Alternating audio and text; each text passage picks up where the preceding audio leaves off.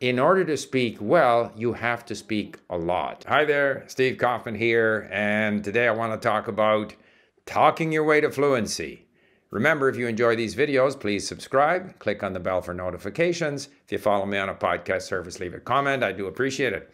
So we often, you know, hear people say that they can talk their way to fluency people have the impression that speaking the language is the key to becoming fluent in the language, the key to learning the language. We have to use it. In Japan, they have these, uh, you know, eikaiwa groups, English conversation groups where people gather around and speak in English.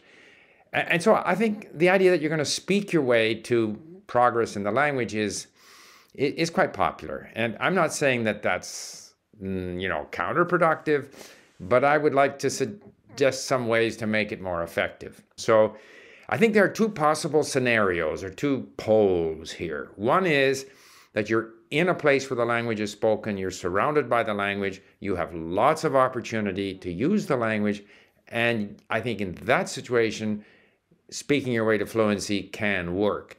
Remember, in order to speak well, you have to speak a lot. So the only question is when are you able to, or when should you, speak more and more and more in order to get better at speaking? So, uh, when I was in Japan, wherever I had an opportunity, I was in the country, I used whatever little bit of Japanese that I had, although I maintained my input activities. So, if you're surrounded by friends, you're in the country, you've met people, maybe you have a common interest, you're playing tennis or you're into some other activity, so you're with people that you know. Uh, it's a comfortable environment. It becomes increasingly a familiar environment. Uh, you have common interests. So actually, your input, excuse me, your output, your speaking is triggering input for you because you're able to participate initially just a little bit, eventually more and more. And when you talk about something, something more or less fam- familiar to you comes back. I always found, even when I'm quite good in a language, an unfamiliar, you know, situation is much more difficult for me. Whereas if it's a familiar situation, I can react, I can almost predict what's going to be said. And I think if you're in a country where the language is spoken and you're with people a lot and familiar people and subjects that uh, you're comfortable talking about, and you get more and more sort of input back at you, then you are learning and improving in a situation. And you're learning primarily because of the input you're getting back, and also to some extent because you're outputting some of the same words and phrases and concepts. So that's a, an ideal scenario. It takes a while to get traction, but slowly, slowly, slowly, by being with people, friends of yours, you do improve. But let's look at the other situation. Let's say that as is the case with me right now and many language learners, you're in a place where the language is not spoken. So you have to now create opportunities to speak, typically with an online language partner or with a tutor, or perhaps you can find people in your, you know, wherever you live that speak the target language, but that's more difficult to organize. So inevitably in the second scenario, you are speaking less often. So you are getting less, you know, input material coming back at you. What can you do? Well, here again, I think you have to organize as much input material as possible. And as is the case when you are in a, you know, situation where you can speak a lot, you want to try to create you know, input or find input or surround yourself with input material that is familiar, that is comfortable for you.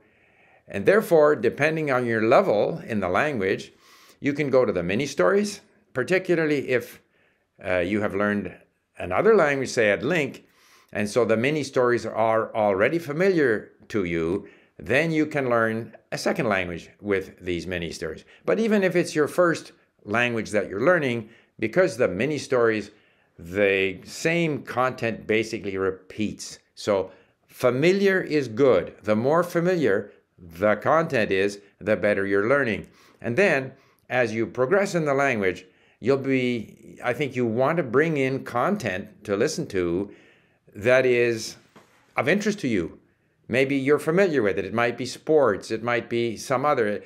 Even, for example, a series on Netflix where the same people, the same family meets, you know, every eh, episode. Familiar is good.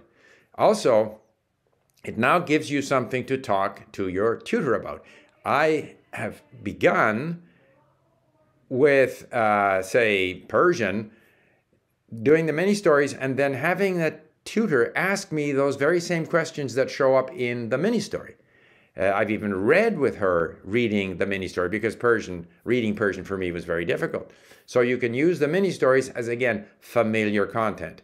Later on, you can work with your tutor so that your online conversations can deal with something that is of interest to you, which could be sports, which could be cooking, which could be whatever. And the tutor might even help you find content that's in this area of interest. So again, you're dealing with material that's familiar to you. That's going to make it easier to talk about those, to speak, and it's going to make it easier to use that input material to power up your ability to speak. So to summarize, I think you know, whether we can speak our way to fluency or not depends on where we are. But in either case, whether we are in a place where the language is spoken or whether we are not in a place where the language is spoken, we are going to need a lot of input.